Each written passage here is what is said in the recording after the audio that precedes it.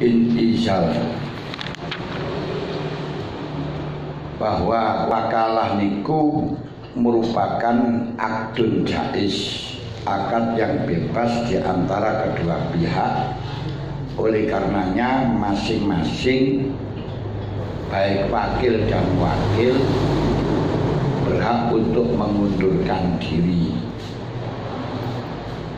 Dan ketika muwakil telah mecat kepada wakil di hadapannya wakil. Bikudurihi dengan azal duka atau rofatul wakalah. Saya batalkan wakalah atau saya keluarkan engkau dari wakalah. Maka dengan sendirinya dengan ucapan itu wakil keluar dari wakalah kalau mewakil itu memecat kepada wakil dalam keadaan dalam kondisi wakil tidak ada. Maka akan kepecat pula. Namun apa kepecatnya ini menunggu kabar sampai kepada wakil apa langsung kepecat? Ini ada dua pendapat menurut yang pertama dengan seketika dengan dia mecat berarti sudah kepecat walaupun dia belum dengar. Yang sehingga tasaruf-tasaruf yang telah dilakukan setelahnya dia dipecat ini gagal. Pendapat yang kedua tidak gagal sebelum mendengarkan kabar kalau dia dipecat. Baru kalau sudah mendengarkan kabar dia dipecat maka akan terpecat. Sebelum mendengar no. Atau wakil memecat diri yakni mengundurkan diri dengan kata-kata satu nafsi auratul wakalah saya kembalikan wakalahnya ini juga akan kepecat. Kedua eh, ketiga berarti. Satu diwakcat oleh wakil eh, wakil kedua memecat diri ketiga wakalah itu terpecat dengan adanya wakil atau wakil keluar dari ahli tasarruf. Wakilnya kentuk mati atau wakilnya kentuk atau mati ini pun juga akan kepecah. Wakaza izmaun fil asofi Demikian pula irma Ketika wakil itu ayan atau wakil itu ayan Maka kepecat menurut kolasoh Mukobil asoh tidak kepecat Kecuali di dalam irmaknya wakil ketika balang jumroh wakil memerintahkan wakil untuk malang jumroh karena tidak mampu. Ketika wakil malang jumroh, wakilnya semaput, ini tidak masalah, no problem. Menurut kol asoh, Irma itu membatalkan wakalah, irma itu mengakibatkan terpecatnya wakalah, ilhakon lahu bil junun karena diilhakan dengan junun sama-sama tidak ahli tasarruf. Wasani layu hikubihi menurut pendapat yang kedua nggak bisa diilhakkan. Karena kalau junun itu biasanya jangka yang lama. Kalau irma itu hanya sebentar. Maka tidak bisa menghilangkan sifat wakalah wa bi khuruji mahali tasarrufi. An milkil muwakil. Keempat barang yang diwakilkan itu sudah keluar dari pemilikan wakil contohnya oleh wakil dijual suruh menjualkan budak oleh wakil di merdekakan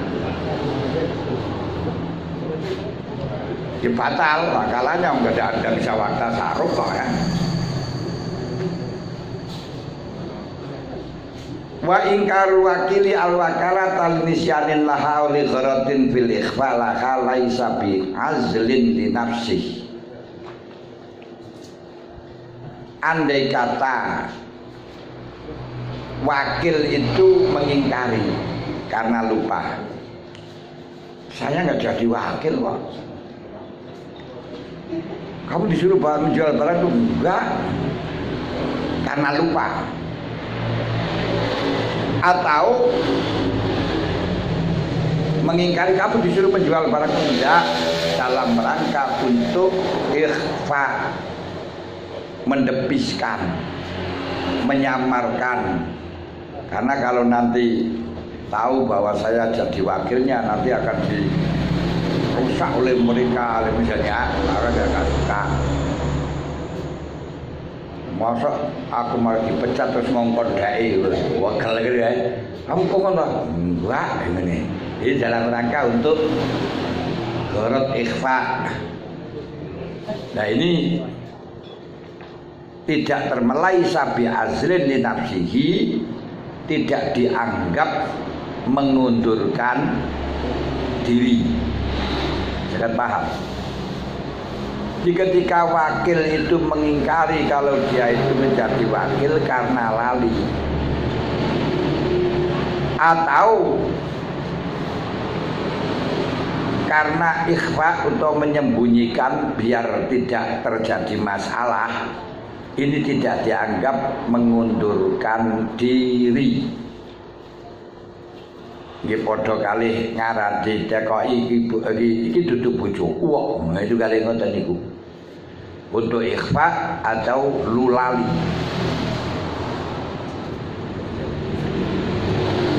Tapi wa ikhfa ing koso daing karo hal wala gorodo lahu fihi in azala bidzalika. Kalau dia itu sengaja untuk mengingkari dan tidak ada tujuan lain maka dia lepas dari perwakilan. Wal muwakilu fi ingkariya kal wakil fi asli bihi aula. Muwakil ketika ingkar di dalam batal dan tidaknya sama dengan wakil.